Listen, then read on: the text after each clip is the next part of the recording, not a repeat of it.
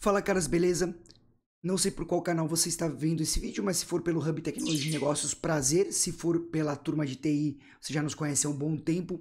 Caras, vídeo direto ao ponto. O intuito dos nossos canais, principalmente do Hub Tecnologia e Negócios, o nome já diz, Tecnologia e Negócios, é trazer para vocês negócios, como vocês gastarem menos para adquirir bons produtos ou como vocês conseguirem também, ó, um dinheirinho a mais. Galera,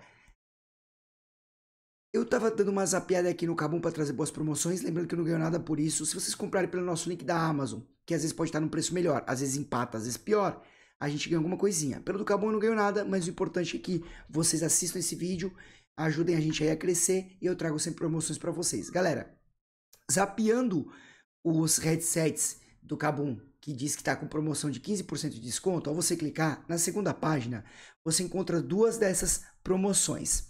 Aí eu vou falar para vocês o que tá bom e o que não tá. Vamos lá. Cloud Stinger Core.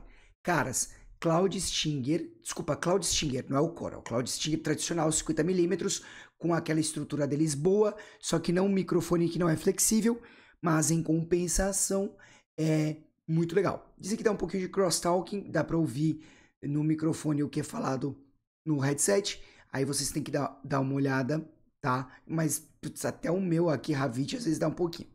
Caras, a questão toda é, esse headset é muito legal, a espuma do meu durou um bom tempo, eu tive o Cloud Stinger Core, que a espuma era em tecido, prefiro esse é em corino, durou um bom tempo, mas também depois que quebra para você comprar é quase o preço do, do, do dispositivo. De qualquer forma, na versão Open Box ele tá 270 reais no Kabum.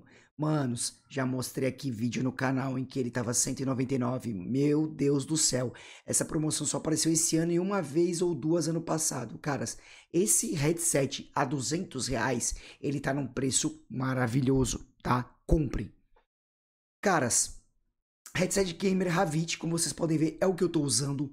Manos, esse som não é dele, tá? Esse som é de um HyperX Quadcast com configurações para ficar com som perfeito. Eu tenho um vídeo no canal onde eu ensino a fazer. Porque mesmo com o podcast, se você não tiver num local apropriado com isolamento acústico, meu, ele pega ruído de tudo que é lugar. Peido, sopro, meu filho brincando na sala. Com a configuração certa ele fica impecável. Tem um vídeo no canal onde eu ensino a fazer isso. Só que o mais importante, headset Ravit por 166 reais. Caras, se vocês me perguntarem, não tem diferença e ainda acho a estrutura melhor desse aqui como desse aqui. Ambos eu uso numa placa de som da HyperX e a qualidade de áudio e vídeo é de áudio e microfone é a mesma.